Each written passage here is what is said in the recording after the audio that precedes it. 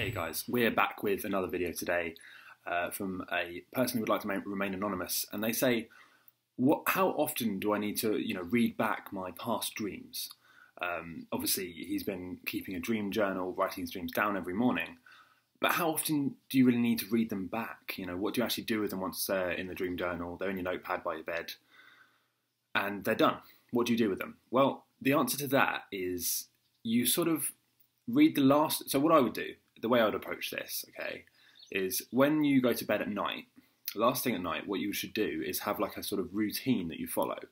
So it might be something like, you know, you get ready for bed, you relax, then maybe you put on some relaxing music, maybe you meditate, then you do a reality check, then you might read about some technique that you want to try or, you know, an experiment, right?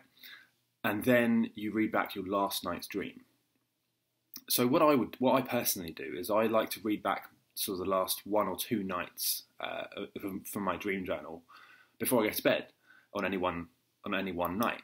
And what this does is it keeps you constantly, you know, in sync with like the dreams that you've just had, so the last day or two, and it means that you're going to sort of follow like a flow. You know, you're not going to enter the same dream again, right? Because that's not really possible. You can't have like exactly the same dream twice in a row. Um, but what it will do is it will let you sort of follow the same theme. You know, say if you last night you were in a dream and you were trying to fly, for example. If you read back that dream again tonight, you know, you're going to be more likely to fly tonight in your dreams because it's the last thing you were thinking about. So really it depends what you want to actually dream about and, you know, what sort of scene you want to have in your lucid dream. If you want to go back and recreate a dream that you've already had, then in that case, maybe you should look through your dream diary and find a dream that in which you're doing what you want to do.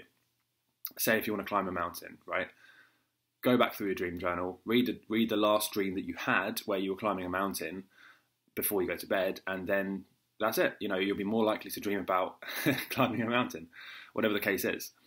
Um, now, a quick note about this what you'll find, okay, is that after you've got a few dreams in your journal, you know, you've got a few pages filled up, um, especially after a few weeks or months, it's going to be hard to look back through that and find, you know, what you're looking for, because there's so many dreams, and hopefully they're so detailed and there's just so much writing. So what I would suggest to do is once you've filled up a few a few weeks of your dream journal, is type it up on a computer. So type it up into a document um, you know on on your computer, laptop, whatever. And what this will mean is that you can actually now search back through dreams you've already had, and this saves a lot of time. So instead of flicking back through a, a notepad that's by your bed that might be all tatty and hard to read, maybe it's like scrawled because it's been so early in the morning or late at night, um, and you couldn't really write it properly. Instead of doing all that, type it up into a document, and then if you want to dream about a mountain, search the document on your computer for mountain, and then you'll come up with all your dreams that you've had about mountains. And it's just so much easier. You know, it's going to save you a lot of time. It's going to mean that you can instantly find the dream or the dream signs you're looking for. Um, and like I said, if you want to recreate a dream scene and have like a specific um, adventure or experience in a dream, then it helps to read about the last time you had a similar type of dream, right? It just helps sort of prime your subconscious mind to dream about that. In the same way that if you, you know, just before going to bed, constantly try to visualize an island, like really vividly imagining all the details of an island, it's pretty likely that, you know, rather than anything else, you're going to dream about an island. Okay? So it's sort of the same principle. So to answer the original question, you know, more concisely, you don't have to stick to anything specific with um, reading back your last dreams if you just want to have you know a consistent dreaming experience, read back the last day or two before you go to bed.